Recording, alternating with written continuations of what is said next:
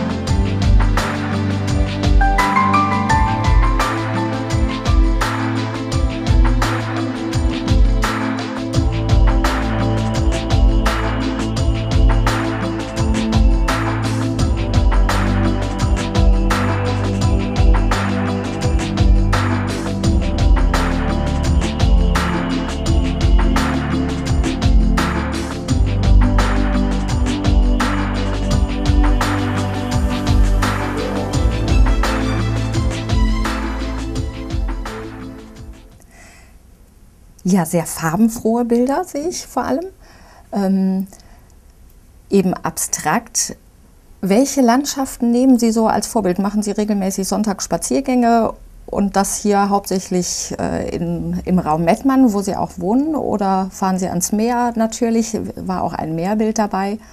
Wo finden Sie Ihre Inspiration? Also ich finde ähm, meine Inspiration eigentlich ähm, ja, überall, auch in Mettmann. Ähm, äh, auch wenn es nicht immer für einen sonntaglichen Spaziergang reicht, Mhm. aber ähm, ich, äh, na, halt, ich nehme halt auch manchmal, ähm, äh, na, ich sag mal, verrottendes Material, also irgendwas, was sich die Natur zum Beispiel zurückholt, also ähm, oder irgendwelche Gegenstände, die sich die Natur zurückholt, ähm, Metall oder, oder irgendwas. Und das inspiriert mich halt auch, dass ich das eben versuche rauszuarbeiten und darzustellen. Und Mhm. ähm, ja, sowas halt. Ja, also schon auch Detailaufnahmen, die dann Genau. im Gesamt. Genau, die ich dann in dem ganzen Bild verarbeite und ähm, rausarbeite. Mhm. Ja, jetzt gibt es ja Leute, die sehen solche Bilder und stellen die gleiche Frage, die schon Picasso über sich hat ergehen lassen müssen. Boah, Moment mal, die Frau hat so viel studiert und dann klatscht sie eigentlich nur Farbe auf die Leinwand, wenn Ja. man es jetzt mal ganz provokativ ausdrückt. Ja. Ne? Was, was sagen Sie solchen Leuten, wenn, wenn diese Frage kommt? Ja, also erstmal ist es wirklich in der Tat äh, provokativ, weil es ist ja kein ähm, schwarzer Punkt auf weißer Leinwand. Es ist ja schon ähm, rausgearbeitet und ich gehe eigentlich auch davon aus, dass äh, jemand, der sich mit äh, Kunst bescha- äh, be beschäftigt, äh, befasst, ähm, der sich das Bild oder verschiedene Bilder anguckt, dass der halt auch sieht, äh, wie ähm, etwas entstanden ist. Es, dass es eben nicht so einfach einfach war und das ist eben nicht einfach nur ein Strich auf Leinwand oder, oder wie auch immer ist oder Gekleckse. Also das ist wirklich, ähm, ja, also ähm, ein Handwerk ist, das ist wirklich ähm, mit verschiedenen Techniken, die erlernt wurden, ähm, rausgearbeitet wurden. Also ich habe ja halt auch ähm, Porträts gemalt, realistische vorher und ähm, das ist also, das ist eigentlich, diese ganzen Techniken, die sind eigentlich da jetzt dazu da, dass ich, dass ich sie einfach nur vereinfache mhm. und äh, damit halt eben meine Landschaften darstelle und das ist eben diese Abstraktion. Ja. Geht Ihnen da schon auch mal was daneben? Also wenn man ein Porträt malt, dann ja. kann man das ja genau sehen. Genau. Oder ist eine Falte zu viel ja. und die 16-Jährige sieht aus wie 52. Ja. Ne? Mhm. Aber bei einer abstrakten Malerei, da kann man es vielleicht nicht sofort erkennen. Mhm. Geht Ihnen das manchmal so? Äh, das geht auch so, dass es, dass es äh, Schwierigkeiten gibt, eben das rauszuarbeiten, was ich gerne, was ich ähm, sehen möchte.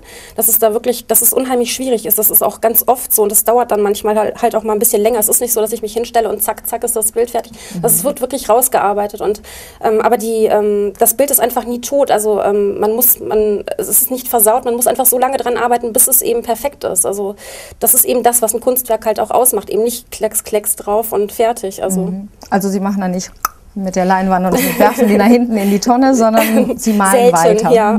Okay. ja, no, soll es auch geben. Ne? Man kann es nie wissen.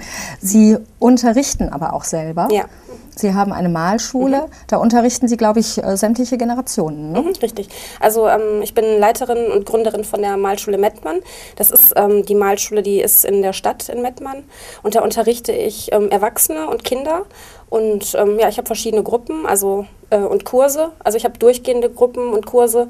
Und ähm, ja, also es gibt halt Acry Acrylmalerei beispielsweise für Anfänger und ähm, Aquarellmalerei für Anfänger. Mhm. Oder einfach ähm, Kinderkurse, dass die von der Pika auf einfach lernen. Ähm, zum Beispiel, ähm, ja, was weiß ich jetzt, irgendwas dreidimensionell darzustellen. Also über Schraffur und so weiter. Also das ist, das mache ich halt in Mettmann. Ja, und da lernt man sowohl abstrakt als auch realistisch zu malen. Da lernt man ähm, erstmal eigentlich ähm, die, die Grundtechniken, ähm, aber jetzt halt, ich habe auch ein offenes Atelier, da können also auch äh, Künstler ähm, hinkommen tagsüber und können halt ihre eigenen Kunst, an ihren eigenen Kunstwerken arbeiten und sich natürlich auch abstrakt austoben, natürlich. Mhm. mhm. Und Sie stehen dann auch zur Not noch mit Rat und Tat ja, zur Seite. Ja, also nicht nur zur mhm. Not, sondern auch mache ich gerne. Überhaupt, also ja, ja genau. Mhm. Also kommt auch vor.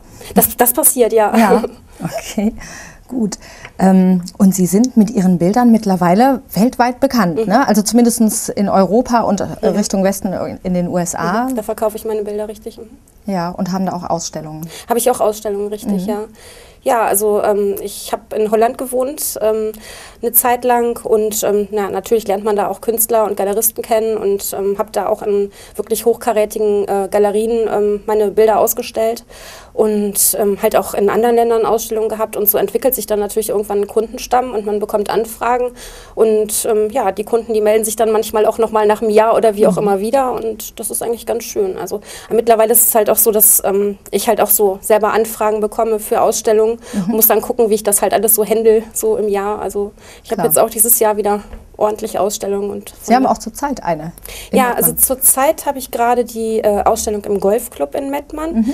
Da hängen circa ähm, 30 ähm, Bilder.